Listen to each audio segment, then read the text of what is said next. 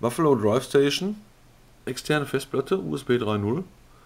Ähm, nennt sich HD HXU3, 1 Terabyte.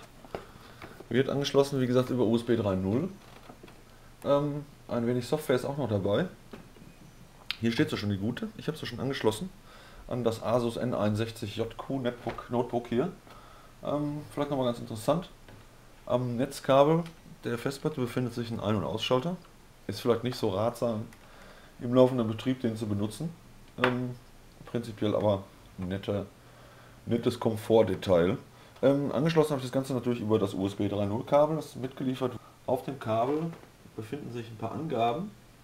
Ähm, ich lese mal vor, AWN E10 1344 Style 2725. 60 Grad kann das wohl aushalten, 30 Volt übertragen. Ähm, dann steht hier noch Space Shuttle-D und Universal Serial Bus 3.0. Also das richtige Kabel ist hier wohl. Hier haben wir auch den Anschluss für USB 3.0. Ähm, das Laufwerk wurde auch ganz normal als Festplatte erkannt und ähm, zeigt dann den Inhalt äh, der, äh, des Laufwerks an. Ähm, hier befindet sich zum einen ein Mac-Ordner.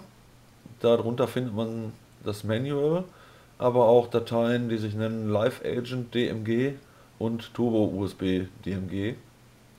Äh, sicher die nötigen Dateien, um halt auf Apple-Computern die Platte in, im USB 3.0-Modus zu betreiben.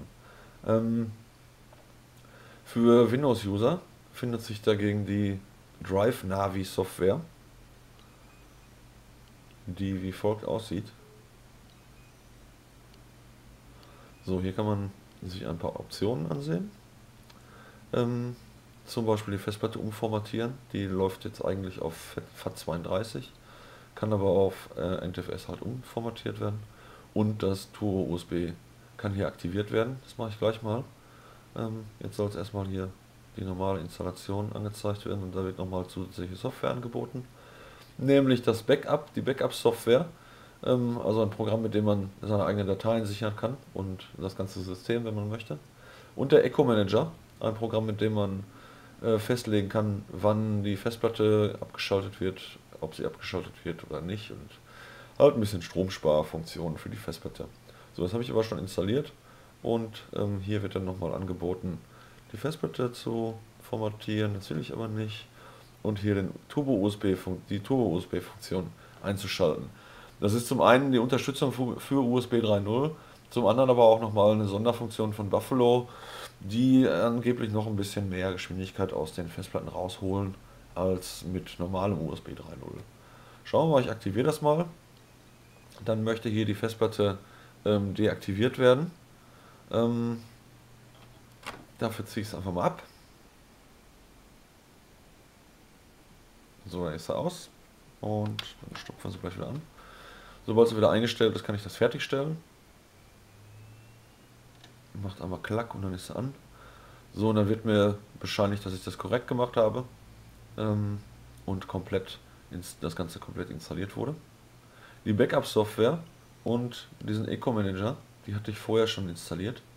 Es gibt aber noch ein, dieses, eine dritte Funktion. Das ist halt die Turbo, das Turbo-USB-Setup.